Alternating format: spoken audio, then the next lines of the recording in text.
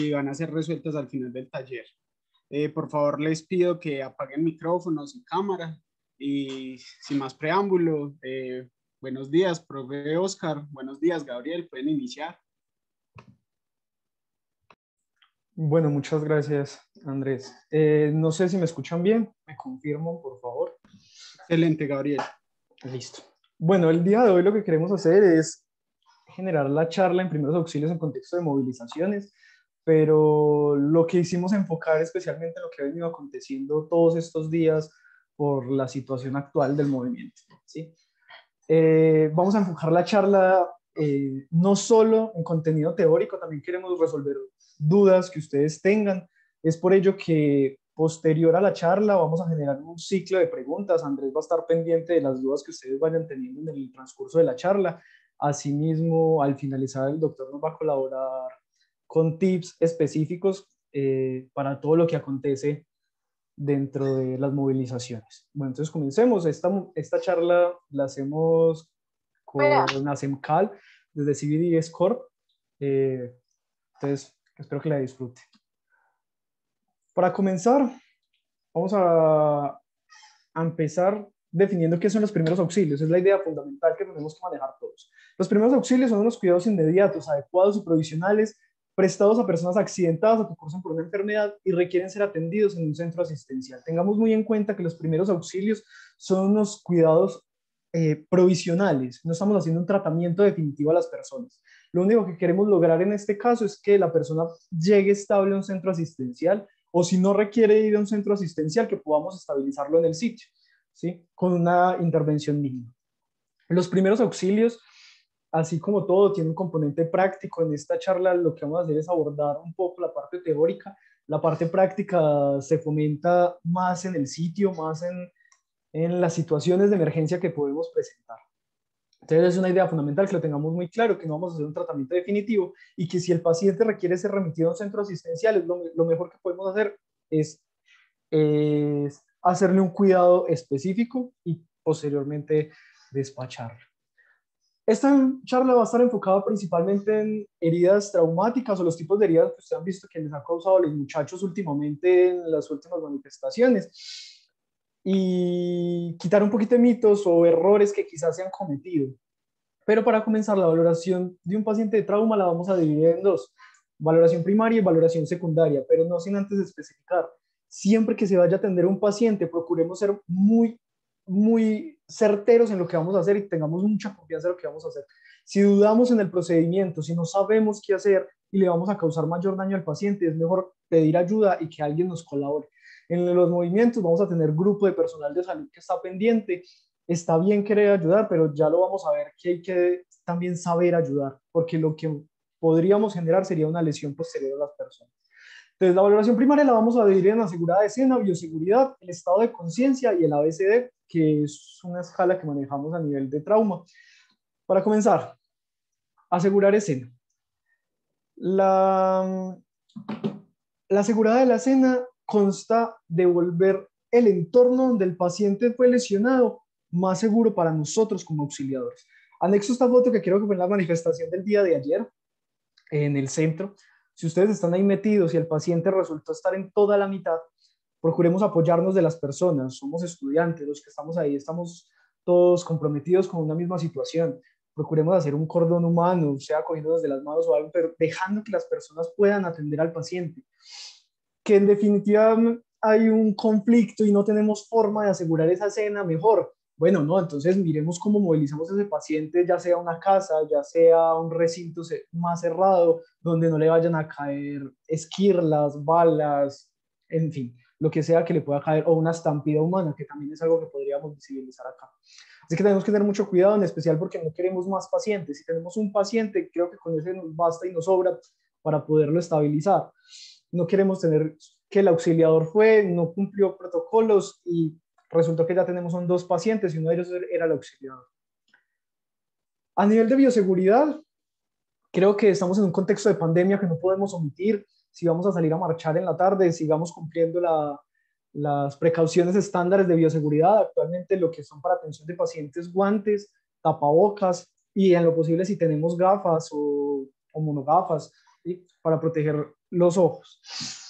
Siempre, todo paciente se atiende con guantes, dado que las personas tienen, todos tenemos enfermedades transmisibles. ¿sí? Entonces resulta que si el paciente es VIH positivo, usted tenía una cortada en la mano y no se acordó porque de la adrenalina que tenía y fue y le metió la mano a la hemorragia del paciente, pues vamos a empezar a tener problemas posteriores.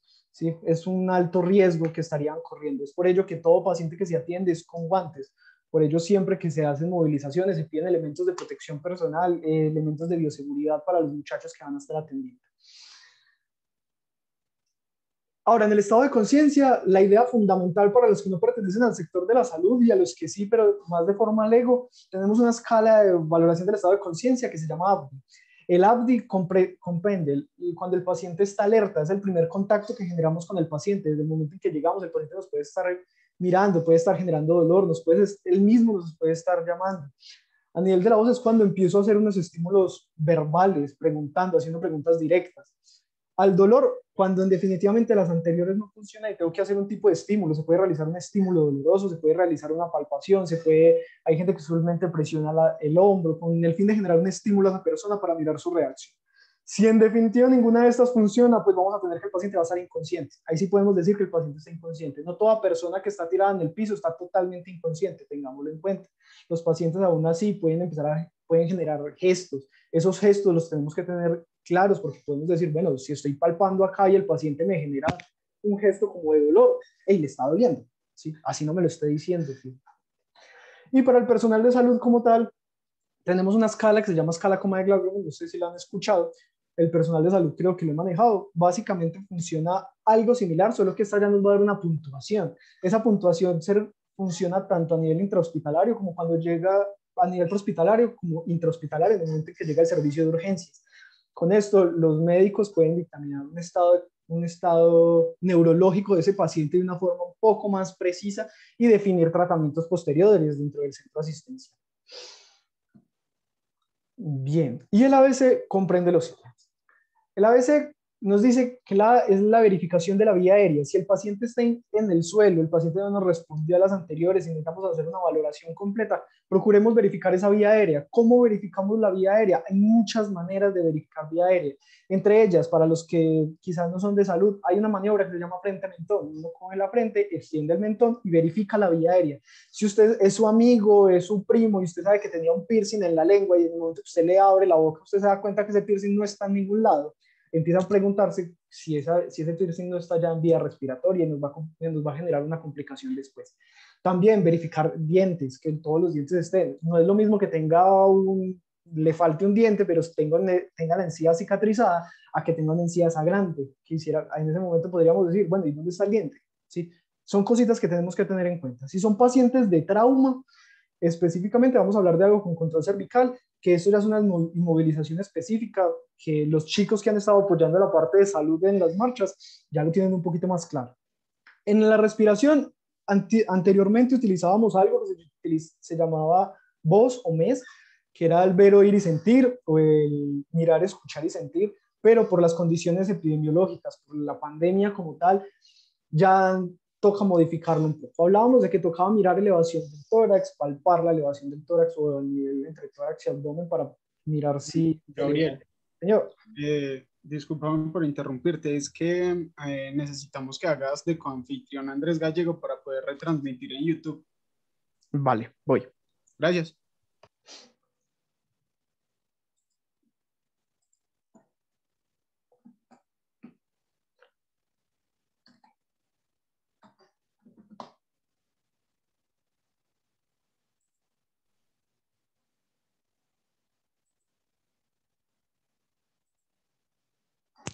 Listo. Muchas gracias, Gabriel. Bueno, vale. Eh, continuemos entonces. ¿Por qué se ha venido modificando? Porque es que yo tenía que escuchar esa respiración de ese paciente. En el contexto de pandemia, yo no me le puedo acercar a la oreja al paciente porque si ese paciente resulta tener COVID, me va, me va a generar gran cantidad de aerosoles. ¿sí? Voy a generar una mayor exposición hacia el virus y no es lo que queremos. Entonces, actualmente utilicemos solo la parte a nivel de, de, palpación y verificar la elevación de ese tórax. En la circulación, verificar pulsos. En este caso, lo único que yo necesito que ustedes aprendan por si les toca, por si hay gente que no es personal de salud, es lo siguiente. Yo necesito que ustedes me digan, ¿tiene o no tiene pulso? ¿Respira o no respira? ¿Sí? Más allá de que ustedes me digan, los, que, los chicos que de pronto no, están no son de salud en este momento, vea, tiene una frecuencia cardíaca de 110, 120, una frecuencia respiratoria de 30, 40, necesito que me digan si respira o no respira. Las cifras yo creo en la valoración secundaria las hacemos más específicas a nivel de hospitalario como personal de salud, pero si ustedes están en el sitio en ese momento, miren, respira o no respira. A nivel de circulación, ¿qué queremos verificar principalmente? Pulso carotídeo. Ustedes lo van a poder palpar, si quieren ustedes mismos se lo palpan, la, la carótida pasa a ambos costados de la tráquea, ustedes se lo pueden palpar, es muy fácil de palpar, es muy fuerte, es uno de los últimos pulsos que se pierden. Si en definitiva en el momento de la palpación ustedes en la toma del pulso no lo sienten, el carotidio, pues ahí sí nos empezamos a preocupar por la condición de ese paciente, porque lo más seguro es que ya nos están centrando en paro. En circulación también ahí entra algo que es un control de hemorragias, que ya lo veremos en las, en las, en las presentaciones posteriores. El estado neurológico, como les decía, se puede seguir valorando, eso sí, el estado neurológico hay que seguirlo valorando, hay que hablarle al paciente, a todo paciente hay que hablarle constantemente, porque si le dejamos de hablar y me concentro solo en la lesión, el paciente se me puede generar neurológicamente y puedo complicar su condición. ¿sí? Entonces, por eso todo paciente hay que hablarle constantemente. Y la exposición nos habla de que ese paciente hay que exponerlo. Eso sí, ojo, también tenemos que tener en cuenta que esa exposición debe ser medida. Yo no puedo violentar el pudor del paciente, yo no puedo quitarle la brusa a una chica en mitad de la manifestación que porque quiero mirar si tiene una lesión en tórax. Sí, procuremos hacerlo en un recinto cerrado porque también hay que respetar las condiciones de las personas. ¿Sí? ¿Por qué hablo lo de la exposición? Porque si encontramos un paciente con un trauma, con un trauma en abdomen, con un trauma en tórax, y resulta que yo solo lo palpé y la persona estaba inconsciente y no les generó ningún gesto, ustedes van a decir, no, el paciente está bien. Pero en el momento en que llega al centro asistencial, le, levantan la, la camiseta o algo, van a encontrar un abdomen con un hematoma gigante, un abdomen rígido, posiblemente está generando una hemorragia interna y ustedes se demoraron mucho tiempo en reportarlo al personal de salud o en llevarlo a un centro asistencial y, la, y el paciente ya se me está complicando bastante. ¿Listo? Entonces, como para que lo tengamos en cuenta esos aspectos. Vamos a continuar. La valoración secundaria consta de una entrevista que es el sample. El sample básicamente es un tipo de entrevista mínima, un tipo de, historia clínica que procuramos hacerle a las personas con el fin de darnos un mapeo mental de la condición de esa persona, ¿sí? Entonces verificamos signos y síntomas, alergias, si consume algún medicamento, si tiene alguna patología previa, lunch o la última comida y los eventos previos. En medicamentos, ¿por qué pregunto esto? Yo creo que todos se dieron cuenta de algunas situaciones que han venido ocurriendo con el cuento del gas lacrimógeno, que hay personas que son, tienen enfermedades de base a nivel respiratorio, entonces hay unos que pueden sufrir de asma y demás, y no llevan sus inhaladores. En el momento en que cae el gas, me van a generar...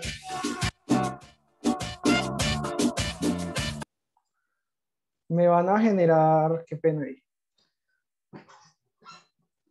En el momento en que cae el gas, me van a generar una reacción. Y si no tengo su inhalador, pues va a ser un poquito más difícil para nosotros contrarrestarlo. Así que si alguno acá sufre de asma, tiene alguna condición respiratoria, por favor, dígale a su compañero, a su amigo, cárguelo, cárguelo, si, utiliza, si es asmático y utiliza salbutamol, bueno, cárguelo, llévese, ¿sí? Porque de eso, de eso, de eso depende mucho, ¿sí? La condición suya donde llegase a pasar algo.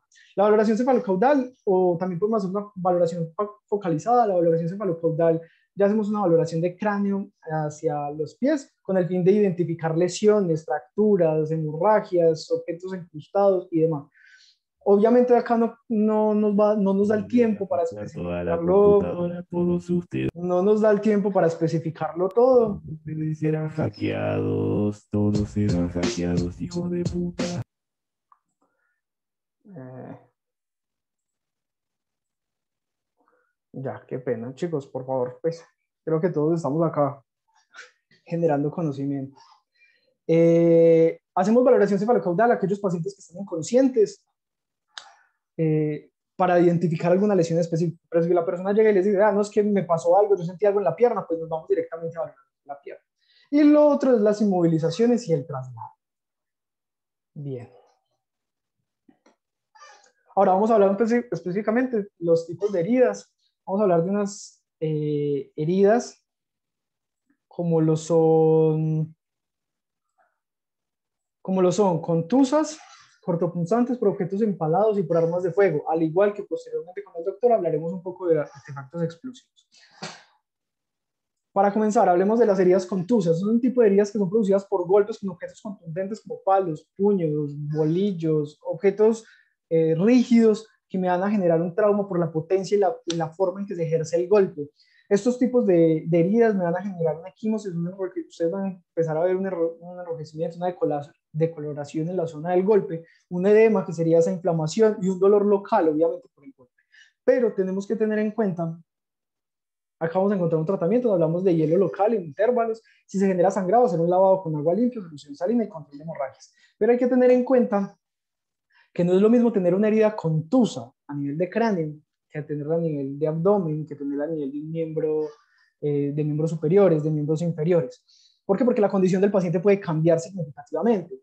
Entonces, si yo hablo, por ejemplo, de una herida contusa en cráneo, voy a encontrar que ese paciente probablemente debido al golpe puede causar una degeneración neurológica progresiva. Si yo no le estoy hablando a ese paciente, si yo no estoy reevaluando esa condición neurológica de esa persona después de un golpe, ustedes, ustedes pueden incurrir en un error y es decir, no, él está bien, él en ese momento me estaba hablando, me estaba, me estaba diciendo qué le pasa, pero sígalo hablando. No es lo mismo también un golpe en una persona sana de 20 años a un golpe con un, con un objeto de estos, una persona de 50, 60, 70 años con unas enfermedades de base. Sí, posiblemente puede generar un paciente hipertenso eh, por la situación, por el entorno en el que vamos a estar, puede, puede aumentar su, su, presión arterial y eso me puede contribuir a mayor lesión debido al golpe. ¿sí? Entonces tenemos que tener en cuenta eso. A su vez, no es lo mismo yo tener un, una herida, un golpe en tórax, dado que un golpe de estos en tórax puede generar o fracturas, me puede generar o lesiones a nivel pulmonar, ¿sí? Podemos generar, posteriormente lo vamos a ver, lesiones por, pues me puede generar neumotórax, hemotórax. Eh, básicamente ese pulmón puede sufrir, esa persona va a empezar con una dificultad respiratoria, puede causar lesiones a nivel del, del corazón y es algo que nosotros tenemos que tener en cuenta. Es por ello que yo les digo que toca hacer una exposición del paciente, toca retirarle la ropa, porque si no, yo no voy a verificar esto. Puede que la persona llegue y me diga, no, no, yo estoy bien, yo estoy bien, sigamos.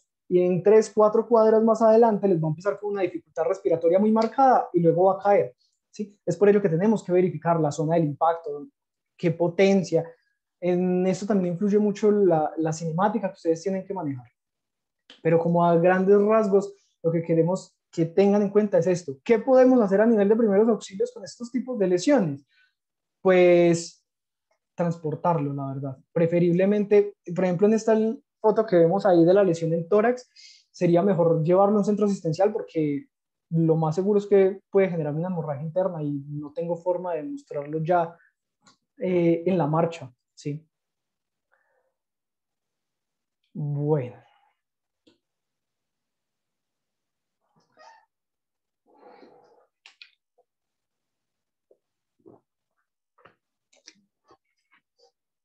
A nivel de las heridas cortopunzantes, o bueno, no, antes de, eh, no sé si hay alguna pregunta específica, el doc creo que está contestándoles,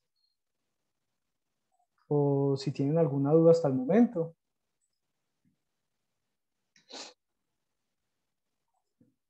Gabriel, por el chat no hay preguntas. Igual Andrés, es el moderador, eh, dijo que les iba a recopilar y al final las hacemos. Puedes continuar.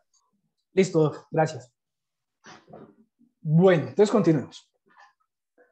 Las, heridas corto, las heridas se producen por objetos puntiagudos, como lo son latas, vidrios, cuchillos, bisturí, bueno, eh, son tipos de heridas que me van a generar un corte preferiblemente limpio, ¿sí?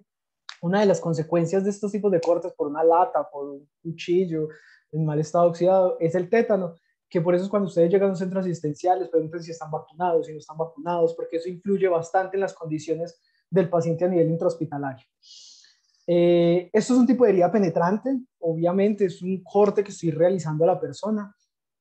Eh, si es por un objeto eh, punzante como tal, sea por ejemplo un destornillador, sea una aguja, sea un anzuelo, vamos a tener que el orificio, el orificio de entrada puede ser o muy grande o muy pequeño o poco visible, dependiendo del objeto que se haya utilizado. Pero hay una desventaja y es que porque el orificio sea pequeño no quiere decir que la profundidad también lo sea, ¿sí? No es lo mismo tener, no sé, una aguja a tener un destornillador de esos pequeños delgaditos, que puede que el orificio sea muy pequeño, pero mide 15, 20 centímetros de profundidad. ¿sí? Entonces es algo que, que no le podemos restar importancia por el tamaño de la, de la lesión. Puede haber un sangrado abundante o un sangrado escaso.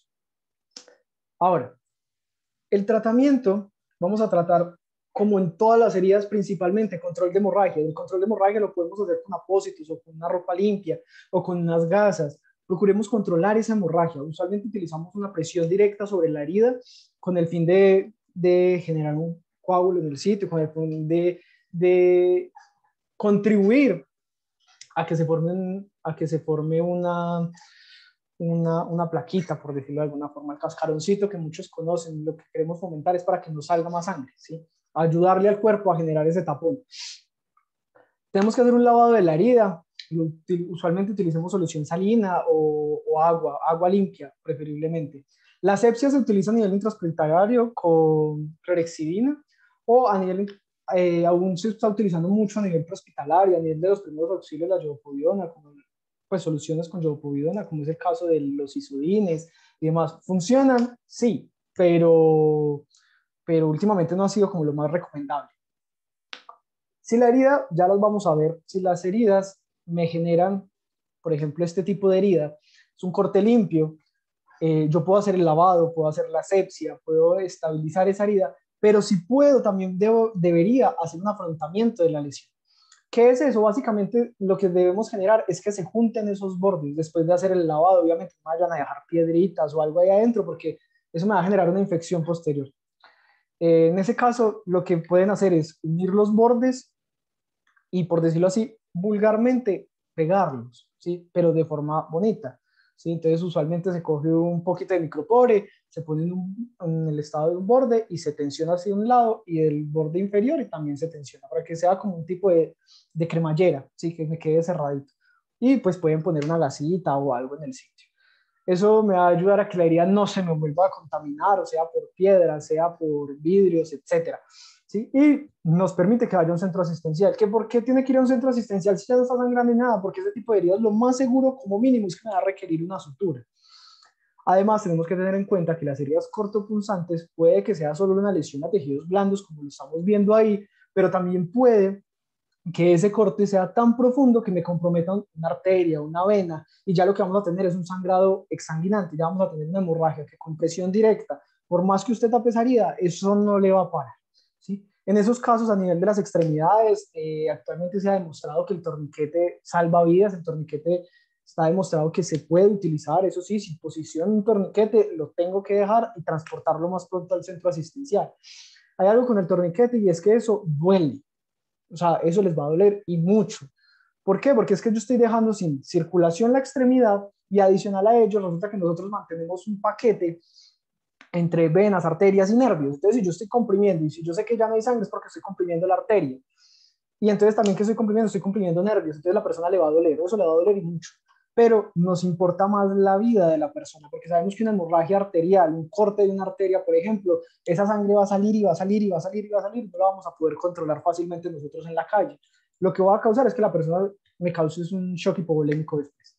El torniquete, se, según ciertos estándares, nos dice que se debe posicionar dos a tres tercios por encima de la lesión a nivel proximal, o si es una emergencia traumática, o sea, ya es, es una hemorragia muy exsanguinante, no tenemos forma de controlarlo ahí en el sitio, se tiende a hacer lo más proximal al tronco posible. Entonces, si la hemorragia o el corte, digamos, de la arteria fue la arteria radial, yo lo que puedo generar es una, un torniquete lo más cercano al axil, ¿sí? Que voy a dejar sin circulación gran parte del miembro superior, sí, pero no se me va a morir ni se va a desangrar.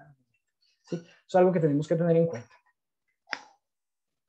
Eh, este es otro tipo de herida, una herida, un corte limpio, ahí se puede notar que es un corte limpio, podemos identificar eh, profundidad y demás. Funciona igual, tenemos que hacer un lavado, eh, tenemos que procurar hacer un afrontamiento de la herida y transportar. ¿Por qué? Porque hay que hacer una sutura y nosotros en la calle, en los movimientos, no vamos a tener un kit de suturas para realizar. ¿Listo? Y este es otro tipo de, de, corte, que si ustedes ven los bordes ya son un poquito más irregulares, por ende a nivel de afrontamiento va a ser un poquito más difícil. En esos casos tratemos de hacer una excelente asepsia, un excelente lavado y evitar generar mayor lesión a ese paciente. En ese caso, lo mismo que les decía, se puede tapar, se puede lavar y toca verificar en especial la condición del paciente. ¿sí? Como les digo, como mínimo esos pacientes van a requerir una sutura, como máximo va a requerir una va a requerir intervención quirúrgica, dado que si es una lesión, una herida cortopunzante a nivel abdominal, puede generar algo también que se llama una evisceración y es que genera un corte tan limpio que lo que me, causó fue una exposición de, de intestinos, por ejemplo. ¿sí? Y en esos casos, eso es una urgencia, eso hay que llevarlo ya al centro asistencial porque hay que hacer una intervención quirúrgica, indudablemente. Bien.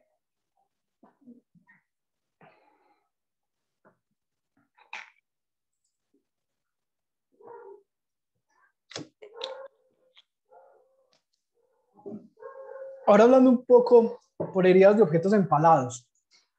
Entendemos por herida, por herida de empalamiento aquella herida penetrante causada por un objeto inciso punzante de puño de aspecto variable, de forma que el objeto vulnerable queda clavado en el cuerpo del paciente. Ya vamos a ver unos ejemplos. Básicamente, la persona sufrió una lesión y el objeto le quedó incrustado en el cuerpo, sea en el brazo, sea en el cráneo, sea eh, en tórax, sea en abdomen. Fundamental, no retirar el objeto empalado, el objeto se deja ahí. ¿Por qué? Muy sencillo. Resulta que si ese objeto en el momento en que penetró también me cortó una arteria, y ustedes lo que hacen, porque bien o mal es un reflejo innato de, la, de las personas, es llegar y retirar. Si yo retiro ese objeto, en el momento en que sale, también estoy generando corte. Y además de ello, si cortó una arteria y lo saqué, pues ya estoy generando una hemorragia bien grande. Si yo dejo el objeto ahí quietico, ese mismo objeto me va a contribuir a hacer un tapón corto o perforo algún vaso importante, listo. Pero eso ahí mismo me está haciendo un tapón. ¿sí? ¿Qué estoy haciendo yo con eso? Le estoy comprando tiempo a la persona, le estoy comprando eh, tiempo a los auxiliadores para que lo lleven a un centro asistencial. Porque tengamos en cuenta que en el contexto en que nosotros nos estamos movilizando, posiblemente es más fácil nosotros llegar a un centro asistencial a que llegue un, un, apoyo, ¿sí? Porque ya hemos visto que en las marchas no es porque los organismos de socorro y demás no quieran ayudar, ellos están totalmente dispuestos, es porque la condición de acceso no se los permite, ¿sí? Entonces es por ello que tenemos que tener muy claro eso. El objeto se deja. ¿Cuándo toca retirarlo? Y eso que se retira con las condiciones más específicas del mundo. Si me interfiere con la reanimación o si atraviesa cuello y me está causando eh, una pues está impidiendo la respiración del paciente. Eso sí, si ustedes van a hacer eso es porque ya tienen un conocimiento más avanzado en primeros auxilios o en atención hospitalaria o, o a nivel profesional de enfermería, medicina y demás. Unos, una persona lego, hacer esto posiblemente puede ser quizá más el daño que le generemos a esa persona que el bien, ¿sí? Entonces, pero fundamental, en todos los casos primordialmente, dejen el objeto ahí, que se ve muy feo ahí clavado, bueno, entonces tápeselo con un busito, porque es que a mí no me interesa que se vea bonito, a mí me interesa es que la persona me viva eh, para que me pueda llegar al centro asistencial. El tratamiento básicamente es muy específico a nivel de primeros auxilios, a nivel hospitalario, y es estabilizar el objeto. Ese objeto no se puede mover por ninguna circunstancia.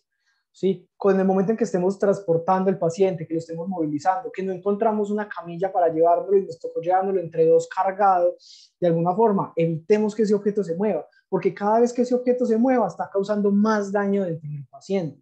Si el objeto está alojado a nivel de abdomen, nos vamos a encontrar que en cada movimiento brusco que yo haga, quizás estoy generando corte a nivel de intestino o un corte de un vaso importante o a nivel de hígado, donde sea que esté alojado el objeto. Se realiza un control de la hemorragia si lo hay. Eh, preferiblemente esto también se estabiliza. ¿Cómo se puede estabilizar? Se puede estabilizar con vendas. Como usualmente lo utilizamos son con vendas o, o conseguirse eh, cositos de, de icopor o algo rígido que me permita estabilizar esa lesión. Los primeros auxilios son muy también de, de, de, de recursividad, ¿sí? Los primeros auxilios tenemos unos estándares, unos tratamientos, pero también hay que ser muy recursivos y trabajar con lo que tenemos. Si lo único que yo tengo para estabilizar ese, eso son dos latas o no sé, eh, pues bueno, miremos qué hacemos y estabilizamos la, la, lesión. Hay que ser recursivos, pero en pro del paciente, no en contra.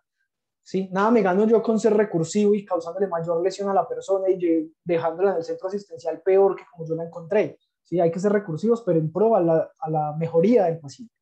Se realiza un vendaje con eso que estamos estabilizando, sea a nivel de todo el tórax, sea a nivel de la extremidad, con el fin de generar una mayor estabilidad de la, del objeto empalado. Y primordial, transportar a un centro asistencial, eso sí es básico, hay que hacerlo. El paciente no se me puede quedar ahí, ni que dice, no, no, fresco, yo ahora me lo quito, que eso no pasa nada. No, hay que llevarlo a un centro asistencial porque hay que hacer imágenes, hay que, hay que visualizar qué órganos están comprometidos, si está comprometido un vaso, un vaso importante o si está pasando muy cerca un nervio, porque yo creo que nadie quiere quedar sin sensibilidad o movilidad en alguna de sus partes. Entonces vamos a ver unos ejemplos. Esto no es lo mismo no es lo mismo un objeto empalado a nivel de miembro superior, aunque por la, a nivel anatómico, si vemos ahí, podríamos pensar que hay compromiso, algunos podría haber perforado algunos tendones, eh, quizás el recorrido de, la arteria radial y demás. O sea, tenemos que tener en cuenta eso. En este caso también tenemos que buscar estabilizar esos pacientes. Recuerden, se los repito, todo paciente se le habla, todo paciente mantengan hablando. Si este paciente, por ejemplo, ahí puede que esté, llegue con eso recochando, riéndose, veas que se me clavó esto, y en un, de un momento a otro se les empieza a deteriorar neurológicamente y se les va quedando, se les va quedando, se les va quedando, y el paciente se les complicó, ¿sí? Entonces, tengámoslo muy en cuenta. Este es otro caso. Eh, como ustedes podrán ver ahí, ese paciente posiblemente causó una perforación en pulmón. En ese caso, el paciente me puede generar un vómito con sangre, tos con sangre, ¿sí? Eh, una dificultad respiratoria. Son cositas que tenemos que tener en cuenta con base a la lesión que está presentando esa persona. Ese objeto se estabiliza, lo estabilizamos así. Y si es posible, transportemos el paciente así. No lo retiremos porque vamos a causar una mayor lesión. Dado el caso de que si uno me perforó pulmón, ya estoy teniendo y estoy empezando a unir unas presiones del ambiente con la presión intratorácica, con la presión del pulmón, y eso me va a causar un daño pulmonar bien severo. ¿sí? el paciente se me va a complicar aún más. ¿Listo? Es fundamental que lo tengan en cuenta. Todo paciente con objeto empalado se deja el objeto empalado y se transporta a un centro asistencial, preferiblemente como haya quedado. Bueno. Aquí vamos a poder encontrar unos, unos claros ejemplos de cómo es la inmovilización de algunos objetos empalados, de cómo podemos hacer la inmovilización. En la imagen que ustedes ven de la chica por el objeto en el ojo, siempre se recomienda, si la persona tiene una lesión de un objeto empalado en el ojo, fundamental, tapemos los dos ojos. ¿Por qué? Porque nuestro cerebro funciona de una forma muy bella y ustedes no pueden mover un ojo independiente del otro. Si mueven un ojo, pues se les va a mover el otro ojo. Y si resulta que ustedes dejan un ojo descubierto y están pendientes de lo que está pasando, cada movimiento que empiecen a realizar lo está, lo está realizando también el, el ojo que tiene el objeto empalado. Palabras más, palabras menos, le estamos causando mayor lesión a ese paciente. Le estamos aumentando la lesión en ese ojo. Que es por eso quizás que cuando llega a un centro asistencial tratan de mirar la lesión del ojo, ya está demasiado dañada. ¿Listo? También, todo paciente hay que tranquilizarlo. Tratemos de, tranquilizar a los pacientes y tranquilizarnos a nosotros mismos. Si el tipo de herida es muy impactante, porque hay unos tipos de heridas muy impactantes tratemos de no hacer muchos gestos, tratemos de no decir, vea, es que este man se va a morir, este man le va a pasar tal cosa, porque la persona se me va a alterar. Y si se me altera, pues me va a aumentar frecuencia cardíaca, me va a aumentar presión, me va a aumentar la hemorragia y demás. ¿sí? Básicamente estoy contribuyendo a que la persona se me termine de lesionar y estoy contribuyendo no a la mejoría, sino a que se me empeore. ¿Listo? Eh, pues ahí van a ver unos, ahí se pueden plasmar unos claros ejemplos de la, de la situación y cómo lo podemos inmovilizar. Ahora, en las heridas por armas de fuego, ojalá que no nos toque, ojalá que ninguno tenga que vivir eso específicamente acá en la ciudad o en el país, pero pues ya nos hemos dado cuenta que no, no es así. Entonces sí que tenemos que tener claro unas pautas específicas en esta situación. Las heridas por arma de fuego hay que tener en cuenta que no todas las balas son las mismas, no todos los proyectiles son los mismos. Entonces el tipo de herida va a variar. ¿sí? La trayectoria va a variar, no, no es lo mismo que, que eh, la bala ingrese desde encima mío, digamos de un piso superior, a que ingrese de un inferior o que ingrese a nivel frontal o a nivel posterior. ¿sí? Hay gente que tiene más conocimiento de esto a nivel de criminalística y demás, lo estudian mucho. Eh, hay que tener en cuenta las trayectorias. Las heridas por arma de fuego son lesiones de gran impacto. Las balas salen con una velocidad muy alta. Es por ello que esa lesión que me va a generar, esa onda explosiva y esa onda expansiva que se me va a generar a nivel, en el momento en que ingresa la bala, es muy grande, es una lesión muy grande para la persona. No, no, no funciona como en las películas de que pégueme un tiro que no pasa nada. No, eso sí pasa. ¿sí? Entonces hay que ser muy específicos. La trayectoria de la bala puede variar. ¿sí? Ella siempre, lo que nosotros vamos a verificar con medidas por armas de fuego son que va a poseer un orificio de entrada y un orificio de salida. Sí hay muchas veces vamos a encontrar un orificio de entrada, pero no vamos a encontrar un orificio de salida. En ese caso, nosotros, ¿qué podemos inferir? Que la bala está dentro del paciente. ¿Dónde? No tengo ni idea. ¿Sí? Porque si la bala ingresa, en el momento en que la bala ingresa, los órganos sólidos que nosotros tenemos o la parte ósea de nuestro cuerpo me puede generar una desviación de la bala. Entonces, si la bala ingresó una, una trayectoria, no sé, perpendicular, no sé, a pelvis, y en el momento en que choca con la pelvis me genera un rebote, entonces ya no voy a tener una lesión a nivel de tejidos blandos por donde entra la bala, sino posiblemente también a nivel óseo por el rebote de la bala y a donde se haya ido. Entonces ya sea si ascendió, entonces puedo quizá encontrar una lesión en un riñón, en el intestino, dependiendo de los lados a nivel abdominal en la cual haya ascendido, o puede estar alojado a nivel de diafragma, no lo sabemos. Para eso hay que hacer imágenes, para eso hay que ir a un centro asistencial. Si la, si la bala salió, hey, hagámonos un mapeo mental, los chicos que somos de salud, hagámonos un mapeo mental de ese recorrido. Si vemos un orificio de entrada que fue a nivel de, no sé, subclavia, y la salida fue a nivel de, de fosa ilíaca izquierda, pues tuvo un gran recorrido la bala, ¿sí? Entonces empecemos a pensar, empecemos a analizar qué órganos están comprometidos en ese caso, y así podemos enfocar la atención en primeros auxilios de esa persona. Que bien o mal no tengo mucho por hacer, sí, es cierto, pero por lo menos le puedo dar una idea de qué le va a pasar a esa persona. ¿sí? Las, si hay heridas por arma de fuego, quiere decir que la escena no es para nada segura, para nadie. Así que tengamos cuidado nosotros en el momento de ir a auxiliar a esa persona. El tratamiento consta de lo mismo, un control de hemorragia, verificación constante de los signos vitales. Esos signos vitales eh, se van a dar cuenta que van a empezar como un yoyo, como métodos compensatorios que nos empieza a realizar el cuerpo eh, y es por ello que tenemos que trasladarlo lo más pronto a un centro asistencial. ¿Listo?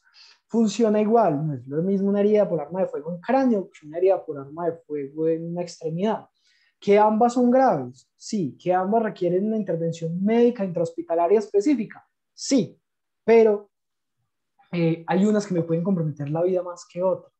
También tengamos en cuenta las heridas por armas de fuego a nivel torácico, las presiones intratorácicas, las lesiones en abdomen, todo esto me puede causar unas perforaciones tanto de intestinos, de, de pulmón, corazón, en fin. Y es por eso que hay veces, por más que queramos apoyar a esa persona, es muy difícil que salga. Cuando yo les decía al inicio que íbamos a mirar unas pautas que tenemos que tener en cuenta, no solo es ayudar por ayudar, no hagan como he visto por ahí que una herida por arma de fuego y lo que hacen es como meter el dedo como para mirar si la bala está por ahí cerquita no hagan sufrir el paciente y no le causen mayor lesión o no contaminen la herida, porque lo más seguro, por el tipo de proyectil, el arma de fuego, la, cinemática que maneja esto, el proyectil no va a estar alojado a medio centímetro de donde ingreso. ¿Listo? Ahora ustedes pueden decir, bueno, entonces si yo me encontré una persona tirada en vía pública o los alrededores después de la movilización y tiene un orificio redondo de ingreso, no encuentro una de salida, yo cómo sé si en realidad fue por herida de arma de fuego o fue por un destornillador que le, le clavaron. Sencillo. Usualmente las heridas por arma de fuego dejan quemada la zona por donde ingresan. ¿sí? Al igual que ustedes pueden encontrar pólvora alrededor. Vuelvo a lo mismo. Es por ello que es importante exponer al paciente. Tengo que revisar ese tórax, tengo que revisar ese abdomen, tengo que revisar esos miembros superiores, tengo que revisar por donde haya entrado esa bala, si tiene ropa, quitemos, eliminemos. ¿sí? Y así nos podemos dar cuenta. Bueno.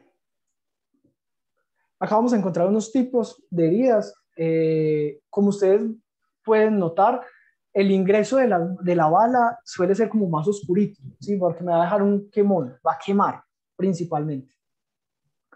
En este caso también, pero si ustedes ven y comparan este tipo de herida con este tipo de herida, ustedes se van a poder dar cuenta que la bala o el o sí, la bala como tal era más grande. Sí, el tamaño de la bala era más grande. Quizá puede que no de ese tamaño totalmente, pero es que la onda expansiva que me genera el momento en que ingresa también influye. Y hay que tener en cuenta que no todas las balas solo llegan, perforan y salen. Hay balas que lo que hacen es que ingresan al cuerpo y se fragmentan en muchos pedacitos. Entonces no voy a tener la lesión del órgano en el que llegó, sino en todos los órganos aledaños por la, por la onda expansiva que se va a generar. Es por ello que tenemos que tener en cuenta esto. Este paciente, por ejemplo, en este caso, pues podemos decir, sí, tengo un orificio de entrada, tengo un orificio de salida, pero es que el orificio de entrada fue casi en un pulmón. Yo podría decir en ese caso que el paciente tuvo una lesión pulmonar. Y la bala, por la trayectoria, puede que me haya lesionado las vértebras. Ojo con algo, cuando un paciente se encuentren ustedes por cualquier herida traumática que haya tengan sospecha de una lesión a nivel de columna cervical, no se pongan a moverlo y a sacudirlo con muñeco de trapo. ¿Por qué? Porque es que resulta que si hay una inestabilidad de las vértebras, tenemos, digamos, dos vértebras, ustedes generan, hay una inestabilidad de estas, si ustedes lo mueven, puede que se me haga este movimiento. Entonces, si usted, ¿qué pasa por dentro de las vértebras? La médula espinal. Y si ustedes hacen este movimiento, básicamente me están cortando, me están lesionando esa médula. Se tiraron en la persona. Nada que hacer. ¿Sí?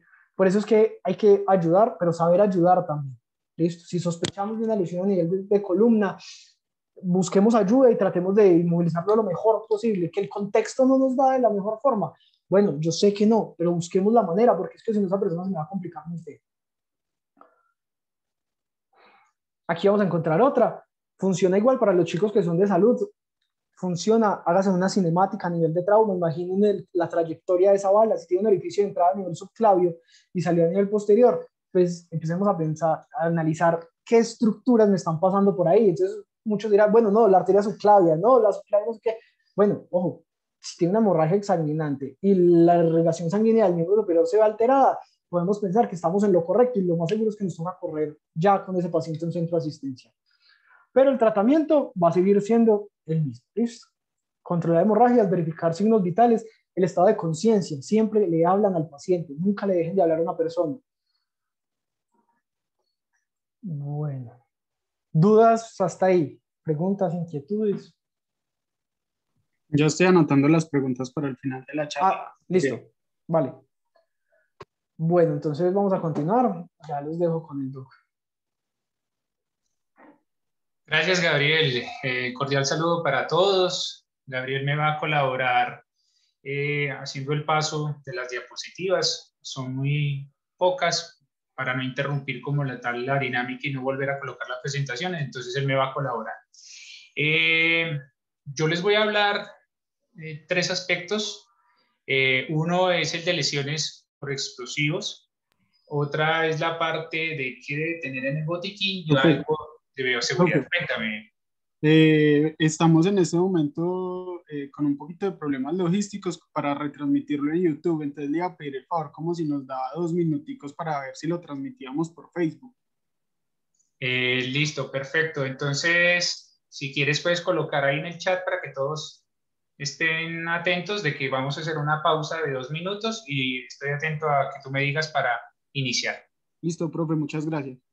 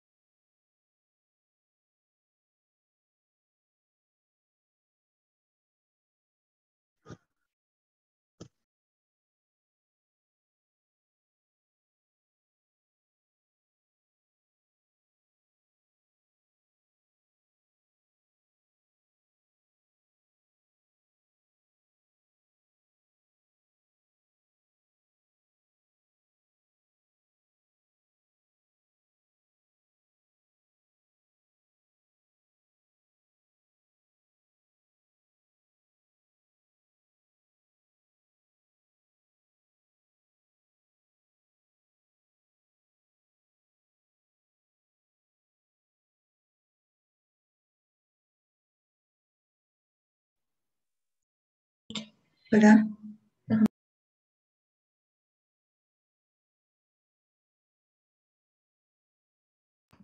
Listo, profe, eh, puede comenzar. Muchas gracias. Listo, Andrés, muchas gracias a ti. Entonces, como les decía, yo me voy a enfocar un poco en la parte de las lesiones por explosivos, eh, en la parte del uso del botiquín y eh, un poquito hablarles de la seguridad de la escena, que igual Gabriel ya lo habló, más sin embargo voy a hacer énfasis en esto. Agradecerle a Gabriel, fue muy clara la participación, los conceptos. Recordemos que los participantes a esta charla eh, tenemos personal de salud, personal que tiene experiencia, he visto personal de atención hospitalaria, como gente eh, de la comunidad. Por tal razón, voy a tratar de abordar el tema, o así lo asumí, para que haya un nivel intermedio y todos logremos comprender el qué hacer. Recordemos que la parte más importante de la atención como primer respondiente o como primer eh, eh, generador de primeros auxilios es la estabilización del paciente, más no maniobras invasivas, ¿sí? No vamos a realizar maniobras que pongan en mayor riesgo la condición del paciente y que vaya de la mano, que yo pueda actuar pero que además de eso, mi seguridad no se vaya a ver comprometida y pues pueda ser una víctima más. Entonces, comencemos con las lesiones por explosivos. Entonces, los instrumentos pues explosivos nos producen lesiones a nosotros los humanos por múltiples mecanismos, no solo por uno, que creemos que posiblemente sea la explosión como tal, sino eso se asocia a la onda de choque que genera cuando se hace, se activa este tipo de dispositivos, la metralla o las esquirlas, las quemaduras por la misma ola de calor, entre otras. Nosotros tenemos que tener en cuenta que lesiones por explosivos se clasifican en dos grupos muy grandes, que son de bajo grado y de alto grado. En el contexto en el que estamos hablando de movilizaciones, pues nos vamos a enfocar a la parte de bajo grado, ¿sí? Que posiblemente sean eh, los dispositivos de gases lacrimógenos, los dispositivos eh, para aturdir eh, a la persona, entre otros. Siguiente, Gabriel, por favor. Muy bien. Esta imagen que estamos viendo aquí simplemente es para darles a entender a ustedes cuáles son los, las ¿Cómo resultan las lesiones cuando nosotros nos exponemos ante una, un objeto que genera explosión? Que pueden ser cualquiera, desde un artefacto para el uso de la fuerza no letal en las movilizaciones, como la explosión por un cilindro de gas, en fin, se aplica para cualquiera. Entonces ahí podemos identificar que nosotros nos podemos enfrentar a lesiones por la exposición de calor, que inclusive algunos eh, dispositivos pueden generar eh, llama, ¿sí? Y eso nos puede generar calor. O la misma onda de, calor que ejerce este dispositivo. Como segundo está la sobrepresión, y es que cuando el dispositivo, estos dispositivos se activan o explotan, va a generar un aumento en la presión en las áreas más cercanas, ya lo voy a explicar mejor qué va a producir en, a, nosotros si estamos cerca. La fragmentación, que son esas, es, eh, lo que estábamos hablando ahorita de la parte de la metralla o de las esquirlas que salen expulsadas de forma violenta y con gran velocidad por la misma onda que está generando la explosión de estos dispositivos. Y por último, la onda de choque que puede llevar a expulsar eh, al paciente o a la víctima hacia varios metros, inclusive dependiendo de qué tan fuertes sean estos dispositivos y causar mucho más lesión. Vuelvo e insisto, dependiendo si es bajo grado o alto grado el dispositivo que va a hacer explosión, pues esto se verá muy bien aplicado o solo se aplicará en algunos aspectos. Siguiente, Gabriel, por favor. Entonces, dentro de las lesiones por explosión existen unas categorías. Y aquí voy a ir hablando de cada una de ellas. Les voy a expresar cuáles son las lesiones más comunes y inclusive les voy a ir diciendo cómo tratarlas. En muchas ocasiones como primer respondiente no voy a tener todos los recursos para poder determinar exactamente qué lesiones puede tener el paciente, sobre todo las lesiones internas. Si bien recordemos que existe una cosa que se llama la cinemática del trauma, que nosotros debemos conocer cómo ocurrieron los hechos. Y la cinemática del trauma eh, me indica, en este caso, si hay explosión es de alta energía, qué puede estar, eh, qué, qué lesiones puede tener el paciente, más no más llegar de esa parte. O sea, yo me imagino qué lesiones puede tener, a diferencia de las lesiones externas, que si yo puedo ver la herida, la hemorragia, la quemadura, en fin. Entonces vamos a hablar de la primera categoría, ya hablamos de la categoría primaria. Aquí es cuando hay una explosión inicial y hay una onda expansiva. Entonces recordemos que debido exclusivamente al efecto directo de esa sobrepresión que hay que generó la onda expansiva sobre los tejidos, vienen a aparecer las lesiones. Entonces, aquí hay una cosita de fisiología que de pronto el personal de salud lo va a comprender mucho mejor, pero en general la comunidad también se lo expreso. A diferencia del agua, el aire fácilmente se comprime, ¿sí? Por lo que las, en, las, en las categorías primarias, las estructuras que más se van a afectar son las estructuras o los órganos que contienen aire. En este caso, va a ser los pulmones, el oído, ¿cierto? Y la parte de eh, el sistema gastrointestinal. Muy bien. Nosotros como primeros respondientes en las movilizaciones si vemos eh, qué puedo identificar fácilmente en la categoría de lesiones, eh, de lesiones por explosión primaria, pues voy a identificar, ¿sí? Que si mi paciente hubo una explosión muy cerca y mi paciente empieza a presentar dificultad para respirar marcada, que eso puede expresar como una frecuencia respiratoria muy alta, no es necesario verificar la frecuencia, simplemente es verificar que ese paciente está respirando muy rápido y muy superficial, o sea, no tiene la capacidad normal de estar inspirando y expirando como lo hacemos cuando estamos tranquilos. Puede ser un signo de que esa persona está comprometida a su parte pulmonar.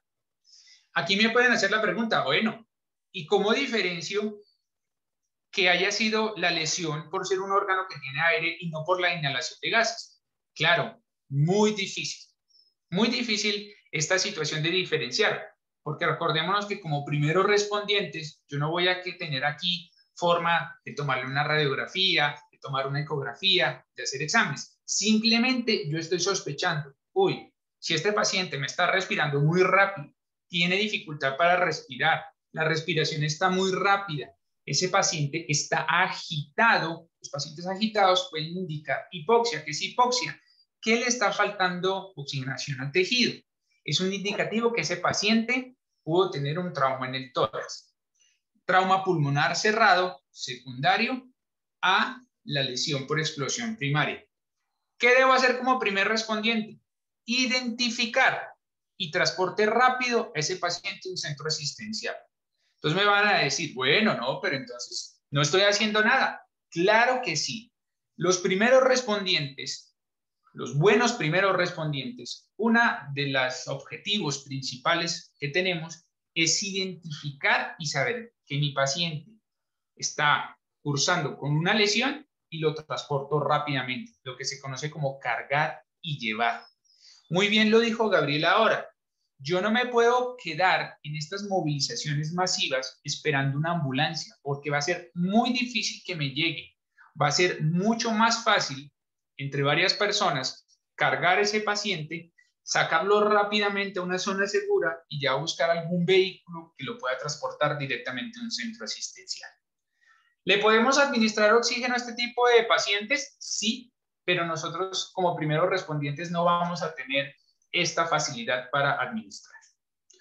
La parte de los tejidos gastrointestinales, cuando hay una lesión primaria en este tracto digestivo, ¿cómo lo puede expresar eh, el paciente? Lo puede expresar con vómito, vómito con sangre, dolor abdominal intenso y el abdomen se conoce como un abdomen en tabla, se pone duro, se pone resistente. Si usted le llega a tocar el abdomen, el paciente se va a quejar inmediatamente. Bueno, yo quiero, hay una, están interviniendo pues como tal en, la, en las diapositivas, espero que respetemos, ya vamos a acabar si la gente se nos está aburriendo. Listo. Entonces, ojo con esta parte. Eh, mm, te regresas, porfa. Bueno, aquí, que apenas estamos en la eso, muy bien. Entonces, mmm, la, también me pueden decir, profe, pero yo he leído que, digamos, la inhalación de gases también puede tener síntomas digestivos, como el vómito, la diarrea, y estamos de acuerdo. La cuestión es que yo me voy llenando de criterios para saber si de pronto ese paciente pudo tener un trauma cerrado a nivel del tracto digestivo. ¿En qué sentido? Toco la región abdominal, está dura, el paciente no se aguanta de dolor, entonces un simple vómito por la inhalación de un gas tóxico no va a generar esta sintomatología. Paciente debo cargar y llevar de forma inmediata. Eso es muy importante. Y la otra, que es la más común que nos enfrentamos, sobre todo a estos dispositivos que les digo, de aturdimiento, ¿sí? Que utiliza mucho pues, la fuerza pública, es la parte del oído, ¿sí? Las lesiones más comunes es la ruptura de la membrana timpánica por la misma presión que se ejerce. Recordemos pues que el oído, el oído medio mantiene una presión y tiene que estar regulada por medio de la membrana timpánica con la parte externa. Por la presión que se ejerció, acordémonos de esa imagen que yo les, dije, les mostré ahora, la va a romper esa presión, va a ejercer mucha presión y rompe la membrana timpánica. ¿Cuál es la sintomatología del paciente? Esta sí es clásica, pues empieza eh, a tener dolor, ¿sí? puede haber sangrado, ¿sí? Por el, oído eh, y pérdida de la audición, que puede ser momentánea eh, o puede ser definitiva, eso dependiendo del tipo de lesiones. Hay que tener en cuenta también que eh, el paciente puede quedar, como estaba diciendo, para que es diseñado esos dispositivos, aturdido, desorientado, ¿sí? Le puede doler la cabeza y eso puede ser normalmente pasajero. Ya lo que nos necesitamos saber si debía transportar a un paciente es sobre todo sangrado por el oído, que se llama otorragia, y un dolor intenso que me podría estar indicando que hubo perforación del tipo. Entonces, eh, en, el, en el ambiente de las marchas, lo que más vamos a encontrar realmente que haya lesión sería la parte de la ruptura de membrana timpánica. Los otros, sospecho, respiratorio y digestivo y ya me lleno de criterios si realmente es algo pasajero o lo tengo que transportar rápidamente. Muy bien, siguiente, por favor. Pasamos a la categoría de lesión eh, secundaria o secundario, y es cuando la víctima es alcanzada por material eh, como la metralla que habíamos hablado, propulsado por la misma fuerza de explosión. Recordemos que pueden haber dos tipos de fragmentos en las lesiones secundarias. Fragmentos primarios, que son piezas propias de las armas explosivas, ¿sí? Recordemos que pueden, eh, hay algunos dispositivos que adentro tienen balines o mm, eh, otros elementos plásticos que están diseñados para no ser letales, para golpear y no ser letales, pero si están muy cerca pueden generar la lesión eh, traumática en nuestro paciente, y fragmentos secundarios, como son fragmentos del ambiente. ¿Cuáles son? Vidrios, piedras, palos que están alrededor de la zona de la explosión y eso va a llevar a que eh, penetren en el cuerpo del paciente y se causen las lesiones. Aquí puede haber de todo, los empalamientos, como lo explicó muy bien Gabriel, puede ser en las extremidades, en la cara, en ojos, en cualquier parte, ¿sí? Tratamiento definitivo, ya, ya dijimos, debemos nosotros inmovilizar las zonas, ¿sí? Eh, para evitar que se muevan y generen más lesión. Si el, el empalamiento fue profundo, ejemplo, digamos, un balín que penetró la piel, no quedó en la parte de afuera, entonces no habría que hacer una inmovilización, no es posible, ¿sí? Ya básicamente ese sería un tratamiento médico en el cual nosotros, con una serie de dispositivos como la radiografía, como la ecografía, podríamos determinar si necesita alguna intervención quirúrgica para sacarlo. Simplemente lo manejaríamos como una herida abierta, que también Gabriel lo explicó claramente. La eh, entonces, en esta secundaria, miren que esto nos podemos enfrentar muchísimo, ¿sí? Nos podemos enfrentar mucho. En las lesiones por explosión a nivel terciario, ya es cuando el cuerpo se es proyectado y impacta contra el suelo o contra otros objetos, lo que les hablaba en la primera, en la primera imagen, ¿sí? Cuando una persona es expulsada por la explosión, ¿sí? por esa onda explosiva que lo lleva hacia, hacia el suelo principalmente, las lesiones que más nos vamos a encontrar son las lesiones en las manos, porque nosotros por reflejo tratamos siempre de colocar las manos. Entonces, lesiones de tejidos blandos, osteoarticulares en las manos, en las muñecas, en los codos, es muy frecuente. Pero tampoco vamos a descartar lesiones en, la cabeza. Cabeza incluye ese cráneo y cara, son también muy comunes. Inclusive esto llevando al trauma cervical, eh, o de columna cervical que podría complicar al paciente. A esto le podemos sumar que cuando el paciente es proyectado y cae sobre algún elemento, vidrio, lámina, eh, una varilla, pues le vamos a sumar todo lo que ya habíamos hablado aquí en las lesiones secundarias, que era pues la metralla que penetraba y aquí generaremos un nuevo empalamiento. Entonces, mire cómo se puede ir sumando todo esto. ¿Sí? Y todo esto no lo podemos enfrentar eh, en, un, evento masivo como estos. Luego encontramos ya eh, las lesiones que se clasifican como cuaternario y son las lesiones por ondas, ondas de calor, ¿sí? Pese a que no hubo una llama directa o yo no tuve un contacto directamente con la, con la, con la llama, ¿sí? Esa onda de calor me puede generar lesiones lesiones que normalmente se clasifican en quemaduras de primer grado y de segundo grado. ¿Sí?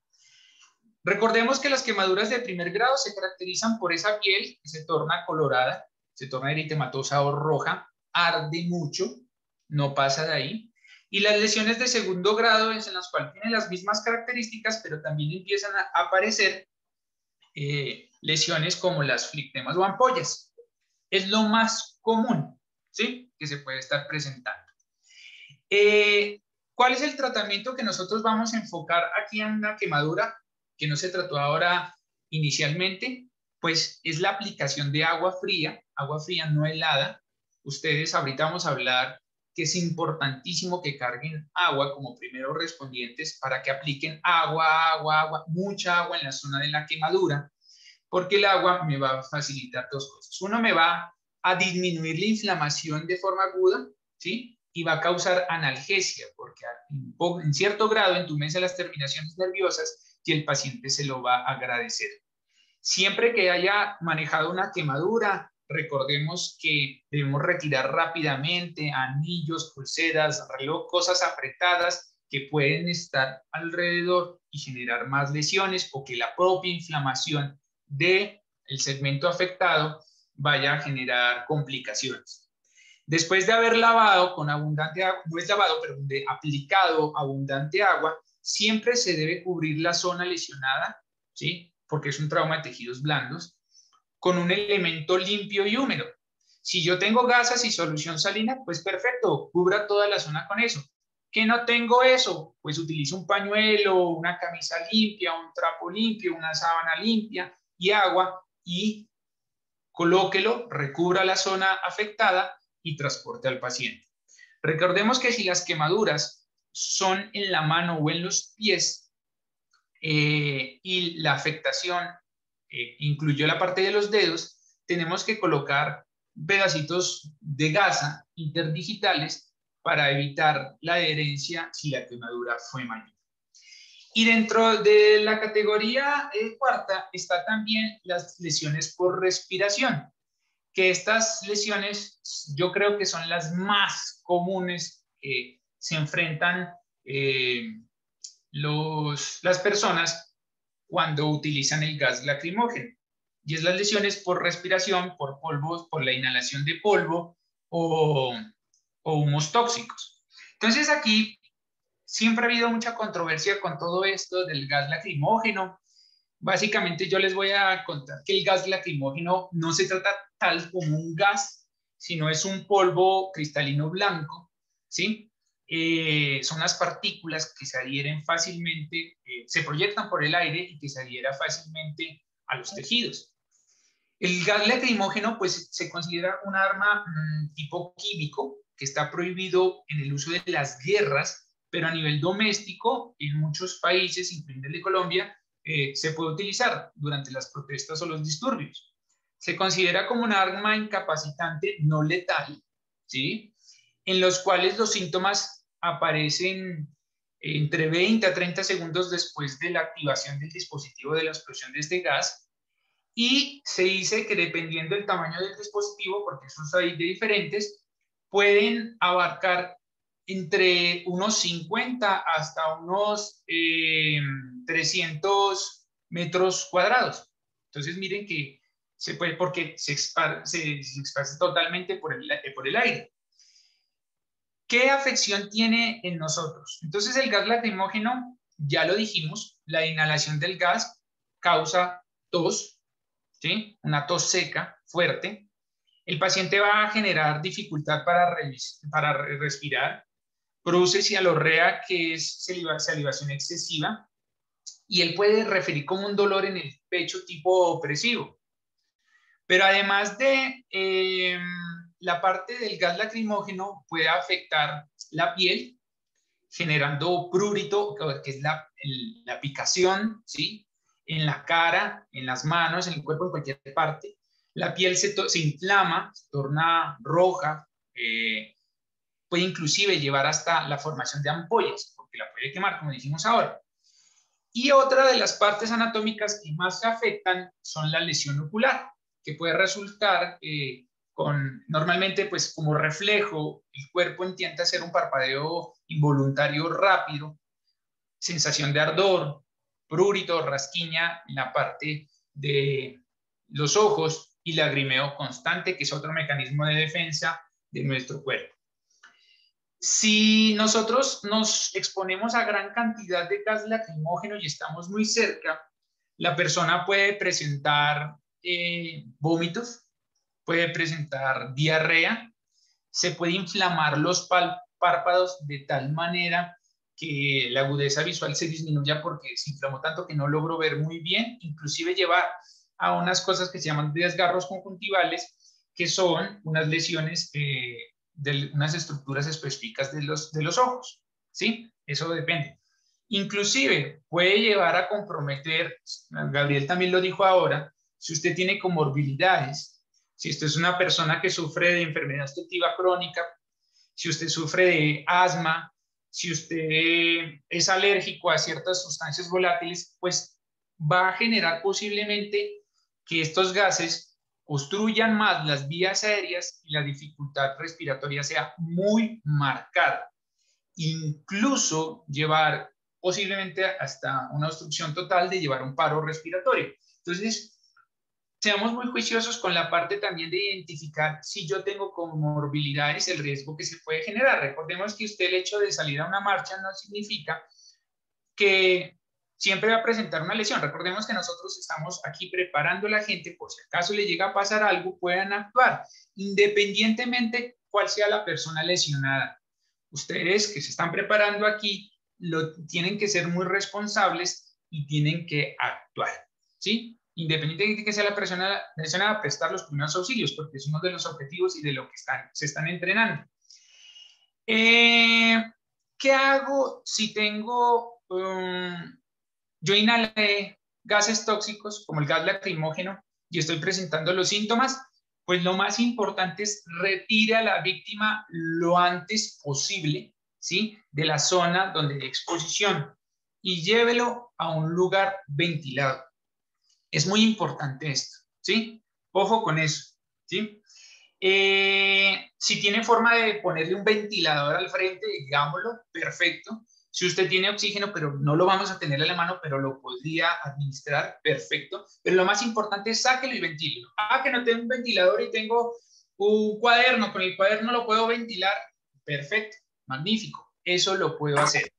Si el gas lacrimógeno afectó la piel, está generando la quemadura, está eh, generando la irritación en los ojos, lo que tiene que hacer es lavar con agua. Aplíquele agua abundante en grandes cantidades. Agua, agua, agua, porque el agua lo que hace es barrer ese agente tóxico que me está generando la lesión como primera respuesta y segundo, reduce la inflamación que les decía ahora.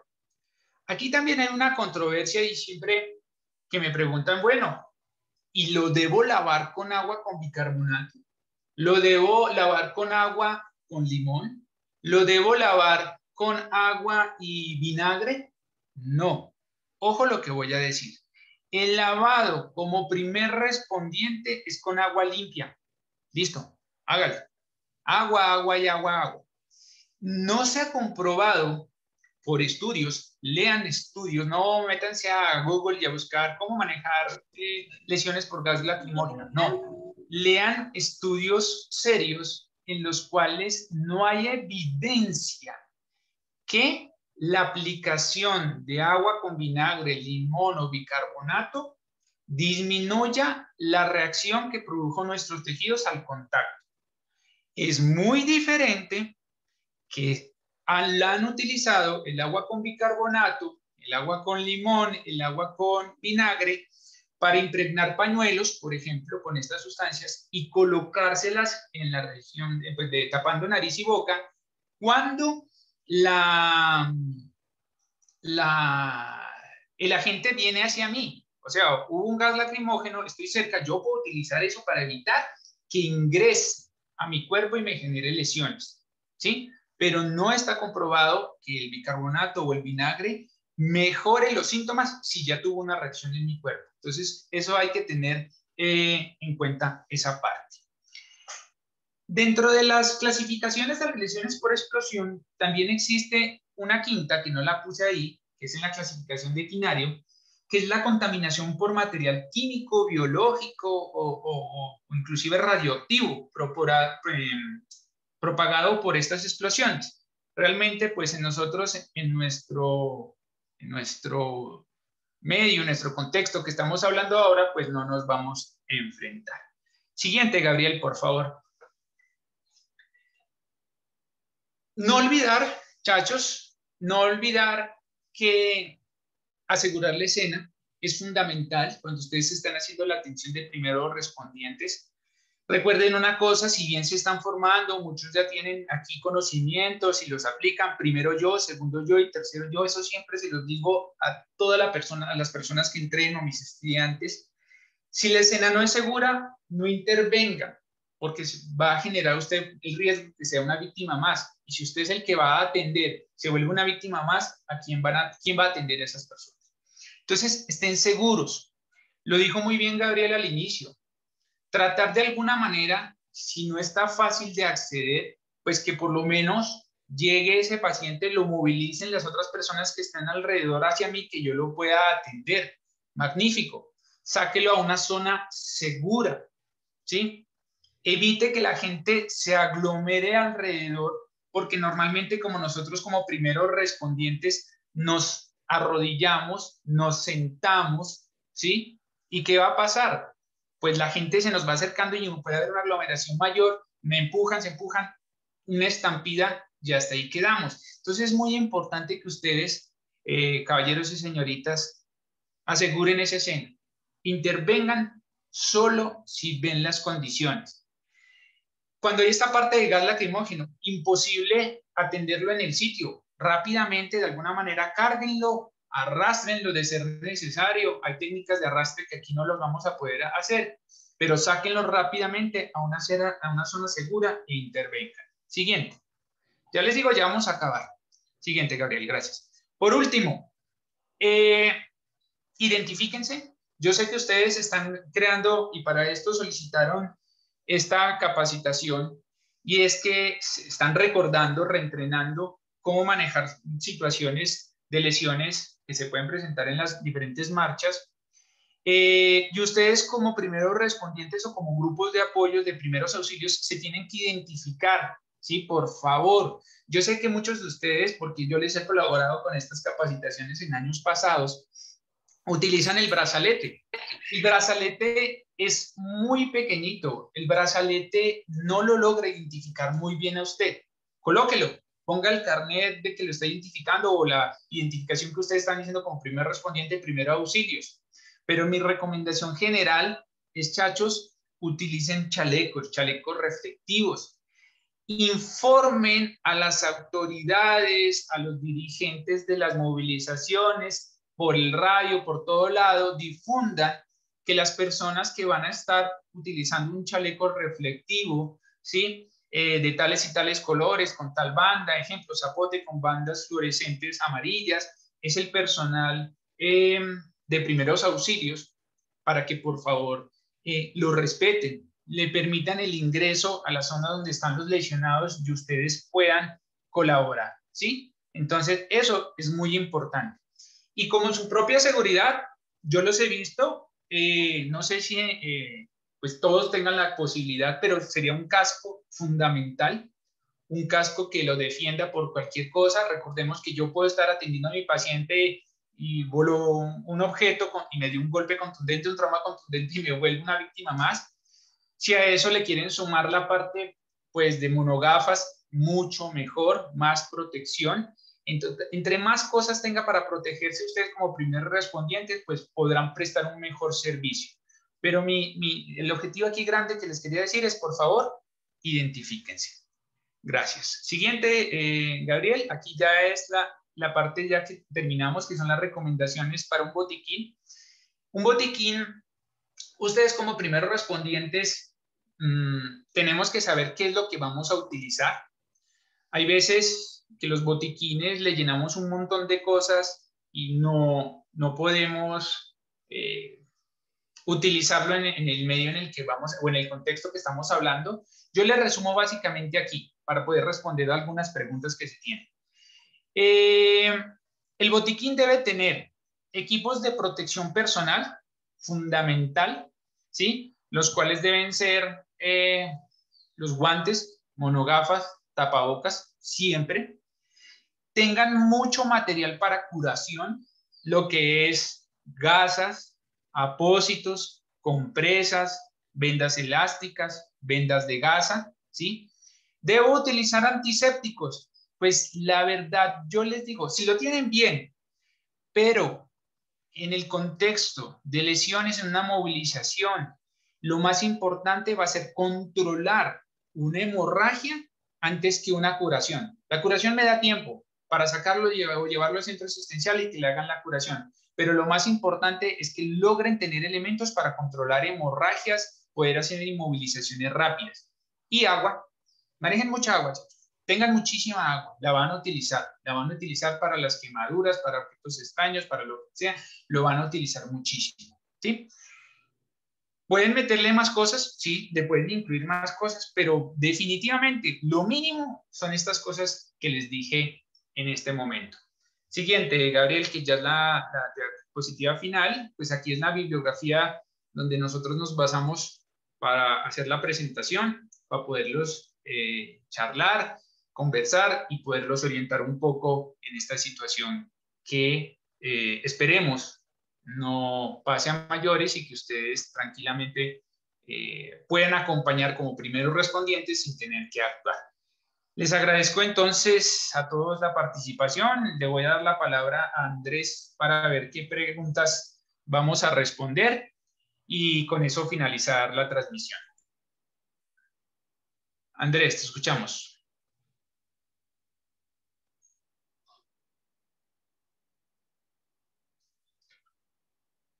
Oh, Gabriel, no sé quién, quién va a hacer las preguntas. Yo creo que es Andrés el que va a hacer las preguntas. Eh, hola, profe. Eh, primero que todo, eh, agradecerle a usted, a Gabriel por el, excelente taller. Estuvo genial el taller. segundo que todo, pues pedirles disculpas si tuvimos algunos problemas logísticos y pues ahora sí, profe, para leerles las preguntas. Claro que sí. Ok. Eh, la primera pregunta es, en las marchas no, muchas veces se cuenta con solución salina. ¿Con qué más podríamos lavar y limpiar una herida? Y si se limpia solamente con solución salina. Listo. Como les dije ahorita, eh, la idea es que yo si no tengo gasas y solución salina, que sería lo ideal porque es aséptico, o sea, no tiene bacterias, yo pueda utilizar agua limpia, cualquier tipo de agua que sea limpia, un pañuelo limpio, un trapo limpio, una camisa limpia, la sábana, cualquier elemento que no vaya a dejar fragmentos o motas. Prohibido el uso de toallas eh, de estas de papel, papel higiénico, algodón, servilletas, porque esto genera fragmentos, puede generar mayor lesión, mayor inflamación. Siguiente, Andrés. Ok. Eh, en los primeros auxilios se podría suministrar medicamentos para calmar el dolor y qué medicamentos de venta, de venta libre se podrían suministrar. Muy bien.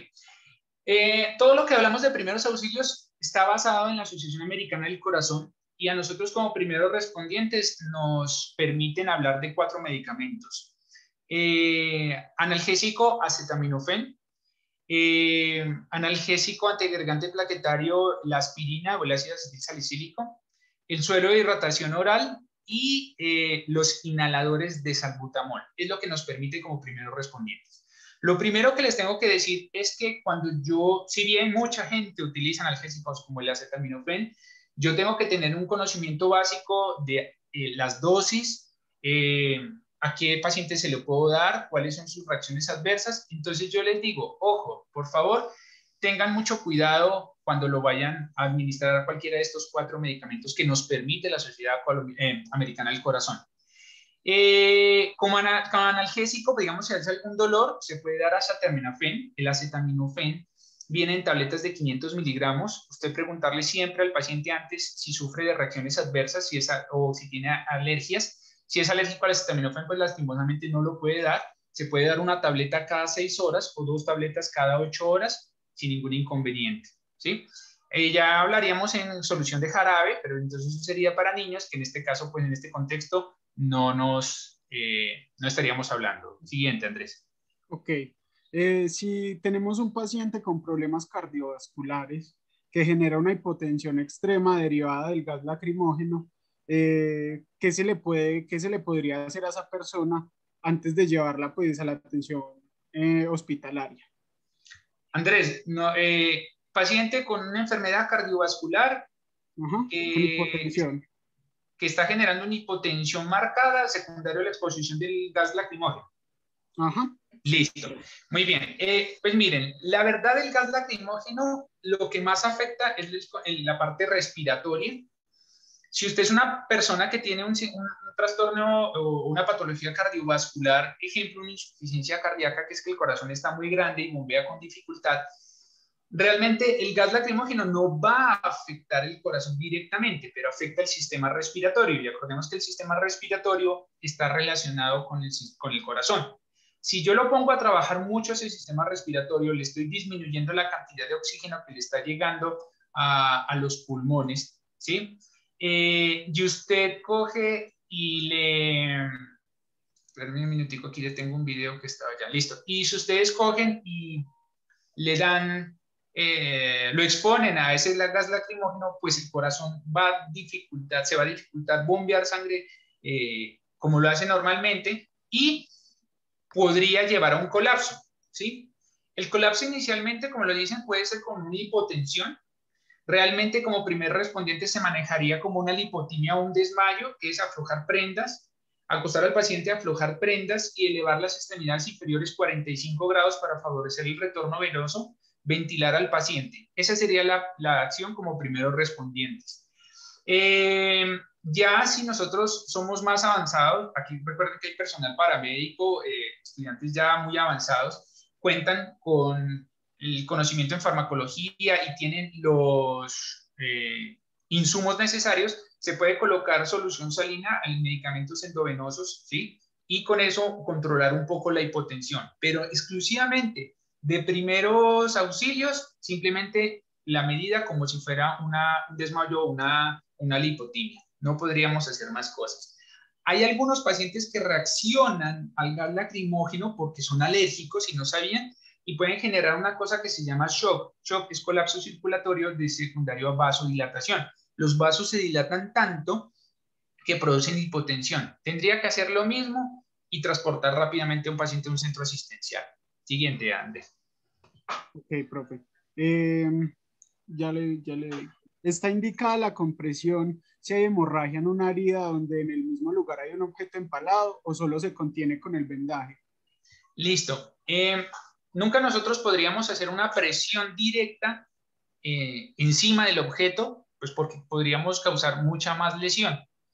¿Qué se debe hacer? Se debe hacer eh, presión a los bordes, por los bordes, ¿sí? De la, al lado del objeto empalado. Es como cuando nosotros manejamos una evisceración. Cuando una evisceración, que es una lesión en la región abdominal, que salen las vísceras por una herida abierta, yo no puedo hacer presión directa sobre las vísceras, pero sí alrededor. Entonces cojo compresas, ¿sí? Cojo una toalla limpia, cojo una sábana limpia y hago presión alrededor. ¿Listo? Estamos hablando de control de hemorragias.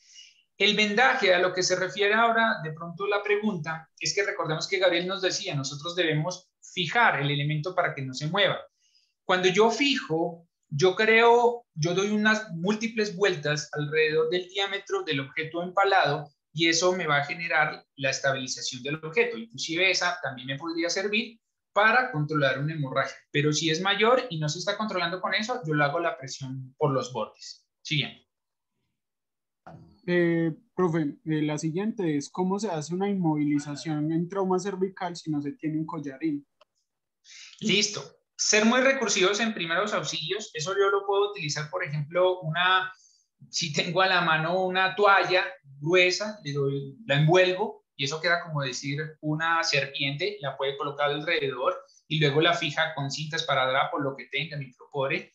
Puede utilizar también, por ejemplo, en ocasiones eh, cartón, ¿sí? No es lo más cómodo, pero yo puedo darle la forma como del cuello y me puede servir. O inclusive hay una técnica que una vez se explica con las gorras, que es básicamente colocar la, el visor eh, en, el mentón y otra gorra con el visor atrás en la región occipital, se pega con cintas micropores para drapo y eso nos serviría para inmovilizar. Más sin embargo, si yo no tengo un elemento para inmovilizar adecuadamente y ya lo estoy transportando fuera, lo más importante es la inmovilización eh, externa con las manos, o sea, coger la cabeza y siempre movilizar el paciente en bloque. Eso es fundamental. Siguiente. Eh, ¿Es recomendable o se puede prevenir el vómito en estos casos de inhalación por gas? Mm, no porque es una irritación al tracto gastrointestinal. Yo podría tomar medicamentos para evitar eh, el vómito. Y esos medicamentos, por ejemplo, el uso de medicamentos antiméticos lo que genera es que me aumenta la presión del esfínter esofágico superior, me relaja los esfínteres a nivel del estómago para que se vacíe fácilmente, pero la irritación es tal que, que no, no, no nos serviría, ¿sí? No nos serviría. Esto es quitar el agente, en muchas ocasiones hasta inclusive nos toca hacer lavados para poder, lavados gástricos para poder eliminar la irritación que se generó en la mucosa gástrica y ya, pero realmente que yo lo tome antes para que no me irrite, no. Puedo actuar médicamente después de, sí, pero como primer respondiente no habría forma de evitarlo. Y no todos van, ah, perdón, Andrés, y no todos van a presentar esto, ¿cierto? Sobre todo si estuve muy expuesto a esto. Siguiente, Andrés. Ok, profe. Eh, ¿Se podría generar o hacerse una solución salina casera? No, nosotros, pues sí, sí se puede hacer como tal, pero no es una solución que quede estéril, que es lo que nosotros queremos. La solución salina casera es el agua, el agua limpia. No se, no se compliquen la vida y utilicen agua limpia. Siguiente. Ok, profe. Eh, si el gas lacrimógeno está vencido, puede ocasionar síntomas diferentes a los de que se encuentran en buen estado?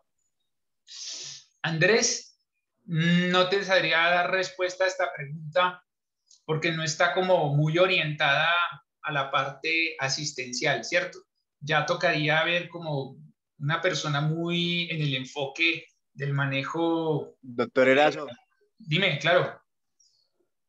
Respecto a la pregunta, los efectos siguen siendo los mismos. Lo que sucede con el equipo de tipo explosivo que ya se encuentra vencido es que su dispersión puede disminuir o la capacidad explosiva por el tipo de mm, recipiente que manejan puede generar mayor cantidad de fragmentos. Pero como tal, la exposición y los efectos en el organismo serían los mismos, doctor. Excelente, Jorge, muchas gracias. Aquí mire que también aprendimos algo nuevo, ¿sí? Y ahí le dimos la respuesta a Andrés, porque la verdad no tenía conocimiento si un gas vencido o un agente estos químicos vencidos aumenta, disminuye eh, sus efectos. Muchas gracias, Jorge. Siguiente, Andrés. Eh, antes de seguir con las preguntas, les recuerdo a los asistentes que en el chat está el link de asistencia para que por favor lo llenen. Ok, sigamos con las preguntas. Si tenemos oxígeno a la mano, ¿cuántos litros es recomendable por estos gases? Altos flujos. Altos flujos significa que debemos utilizar una máscara de no reinhalación con bolsa de reservorio a 12, 15 litros por minuto. Necesitamos un FIO2 entre el 60 y 90% para que barre estos gases. No nos va a servir la administración de oxígeno con gafas o cánula nasal que llega a 4 litros y que el FIO2 es muy bajo. Necesitamos altos flujos. Profe, ¿se puede usar leche para calmar alguno de los síntomas? Vuelvo y insisto, no hay nada comprobado para calmar los síntomas, ¿sí? Ahí está metido el vinagre, el bicarbonato, el agua con limón. Mucha gente dice que sí le ha servido, pero les digo desde la, base, desde la parte de contenido científico, no hay nada que usted encuentre un artículo científico que le diga esto sirve para neutralizar. Hay mucha cosa casera, pero nada basado en evidencia. Listo, profe. Profe, nos piden que si podemos recordar los tiempos del ajuste y desajuste de los torniquetes. Listo. Actualmente eso se ha ido modificando con el uso de los torniquetes. Antes se hablaba que yo debía colocar un torniquete durante 7, 10 minutos y soltarlo por 30 segundos y volverlo a apretar. Eso desapareció. Eh, las guías internacionales de control de hemorragias hoy en día nos dicen, Usted encuentra una hemorragia exsanguinante, coloque el torniquete, apriételo, párelo y, y solo se suelta cuando lo lleve a, un, centro asistencial. Como lo dijo Gabriel, la primera única complicación, entre comillas, que podríamos eh, tener entre la puesta del torniquete hasta dos horas es el dolor por la compresión que se genera en el nervio. No más, dos horas es un tiempo gigante. De las dos a las cuatro horas ya empieza a haber disminución marcada de la circulación colateral que estaba irrigando la parte periférica después del torniquete y empieza a haber una inflamación de los tejidos que se conoce como síndrome compartimental y de las 4 a las 6 horas empieza a aparecer una cosa que se llama la rhabdomiolisis que es una destrucción de los tejidos y que es tóxico para el cuerpo. Eso no significa que yo lo tengo que soltar antes de llegar a las 2 a las 4 horas, no Usted lo colocó y solo se suelta en un centro asistencial. Claro que cuando yo lo vaya a soltar el torniquete, eh, tiene que ser un centro asistencial donde tenga quirófano, donde tenga una unidad de cuidado intensivo para manejar todas estas complicaciones si fue a largo plazo. ¿Por qué no se suelta como antes? Porque se comprobó que si yo lo estoy soltando cada 7, 10 minutos, pues estoy haciendo una cosa que se llama disrupción hidráulica del trombo efectivo que es que el trombo que taponó o el coágulo que taponó la herida, pues la estoy barriendo con la misma presión del paciente, a no ser que ese paciente esté choqueado con la presión muy bajita, que no se logra, que pues no lo podría barrer, pero pues eso no lo podríamos comprobar como primeros respondientes. Siguiente. Okay. Profe, si el paciente está politraumatizado y el lugar no es seguro, ¿el paciente se mueve o se atiende en ese lugar? Listo. La idea como primer respondiente es que todo paciente con un trauma mayor entendíamos trauma en cabeza, trauma en cualquier segmento de columna o hueso largo, se debe atender en el sitio de la escena, no se debe movilizar de ahí. Pero si la escena no es segura, yo no puedo intervenir en esa parte, o sea, van a haber más los lesionados, ¿sí? Digámoslo que el paciente eh, cayó de un, segundo, de un tercer piso y está toda la aglomeración de la gente y está camine, camine, camine, no hay forma de asegurar, yo lo tendré que movilizar y sacarlo de la zona como primer respondiente, hay unas maniobras, pues que realmente aquí no sé, eso sí es netamente práctico para realizar, en la cual yo trato de reducir los movimientos del cuello y arrastro al paciente a la zona más segura. siempre se tiene que colocar en una balanza. ¿Qué pasa? Si lo muevo, ¿puedo generar lesiones? Sí. Pero solo un 21% de los pacientes politraumatizados tienen lesión cervical, que es lo que yo sospecho y yo por eso no lo, no lo muevo. Miren, ¿sí? Pero ¿qué pasa? Si yo, eh, yo no lo, no lo si yo lo voy a intervenir en el sitio porque de pronto tenga este dentro de ese 21%, pues se me puede complicar, inclusive mi vida pues, se pone en riesgo y eso no lo puedo hacer. Si lo puedo asegurar la escena, magnífico. Si no, lo tengo que mover. Siguiente. Eh, profe, ¿se necesita solicitar algún permiso para crear un grupo de primeros auxilios? Eh, la verdad, no sé. Yo le pediría aquí si Jorge todavía se encuentra, Jorge Sánchez, para que desde su parte de formación en esto de seguridad en, salud y trabajo nos pueda responder esta, esta pregunta. Jorge, ¿todavía te encuentras? Sí, acá estoy. Mira, serían varias cosas. Lo primero, eh, tener en cuenta el contexto. Muy importante el comité de atención de primeros auxilios que se está generando dentro de las marchas, que permite generar una reacción inicial Adicional a eso, es supremamente importante lo que decía el doctor Erazo de generar una excelente identificación de ese personal para evitar generar lesiones y que se permita realizar el trabajo. En cuanto al generar un equipo de primeros auxilios, si yo lo que busco es generar un equipo de primeros auxilios para tener respuesta ante la comunidad, ya me estoy refiriendo a un servicio de atención hospitalaria que debe ser previamente habilitado ante el Ministerio de Salud como un prestador de servicios de salud. ¿Listo? Ya es muy diferente que yo quiera crear eh, equipos de primeros auxilios como tipos de brigadas de emergencia dentro de empresas, dentro de sitios educativos que no requieren este tipo de autorización para su manejo, pero sí que estén enmarcados dentro de un contexto institucional y que ese sea su alcance. ¿A qué me refiero? Que si yo tengo la brigada de primeros auxilios de la facultad de la Universidad de Caldas, yo no me voy a ir por la calle con la brigada atendiendo gente o atendiendo a otras instituciones. Se debe definir muy claramente ese alcance para no generar problemas. ¿Problemas en cuanto a qué? En cuanto si yo estoy tomando acciones de atención de primeros auxilios contra un paciente y algo sale mal y yo no estoy autorizado, yo no soy personal de salud, sencillamente pueden generar procesos tanto civiles, penales y administrativos en contra mí. No sé si con eso aclare la duda. Excelente, muchas gracias. Andrés, regálame un segundito. También eh, en la universidad ya tiene uno que está apoyando las marchas. Creo que se llama CAS, que aparece como CAS, si mal no estoy. Unos chicos de la Facultad de Salud que montaron... Efectivamente. Eso, montaron la brigada. Ellos, en las páginas de ellos están pidiendo apoyo, digamos, para insumos y demás, porque ellos están apoyando toda la parte de movilizaciones, pero es específicamente para movilizaciones. Así es como, como han estado trabajando. Muchas gracias, Gabriel. Eh, profe Oscar, ¿hay algo, ¿hay algo que decir de reacciones adversas entre los lentes de contacto o elementos externos con los gases lacrimógenos? Listo, muy bien. No hay específicamente una reacción, sino que nosotros, si nosotros sufrimos un trauma ocular ya sea simplemente por el contacto del gas lacrimógeno que irrita la conjuntiva, la esclera, todas las partes del globo ocular, lo va a inflamar.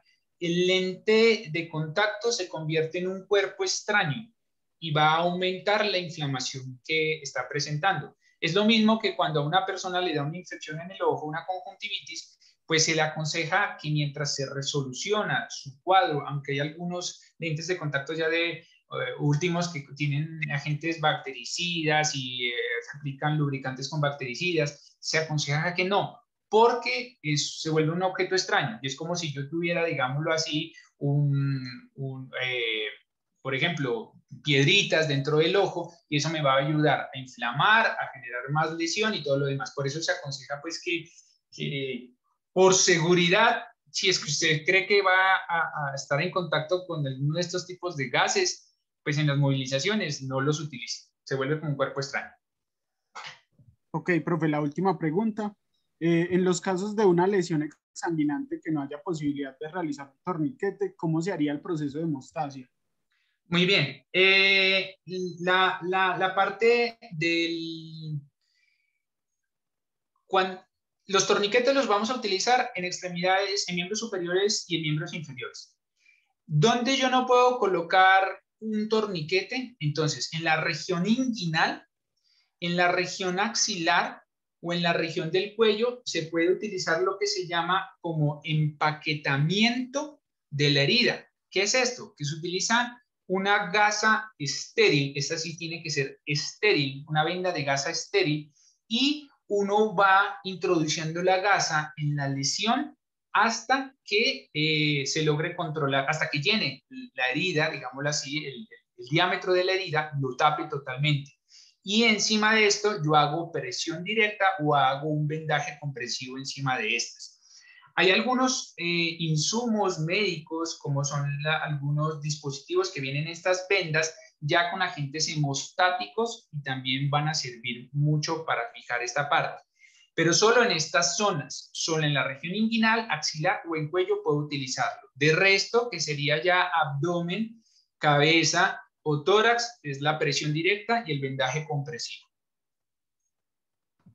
Listo, profe. Muchísimas gracias. Listo. Eh, fue una excelente presentación. Muchas gracias a usted, profe, a Gabriel, a los que participaron preguntando, a todas las personas que aún se encuentran en el Zoom. Eh, muchísimas gracias y los vamos a estar esperando en próximas eh, reuniones. Perfecto, muchas gracias a Gabriel, a Jorge también que nos colaboró ahí y a ti por coordinar este evento. Chao, muchas gracias a todos. Chao, gracias chicos. Muchas gracias. Gracias, hasta luego.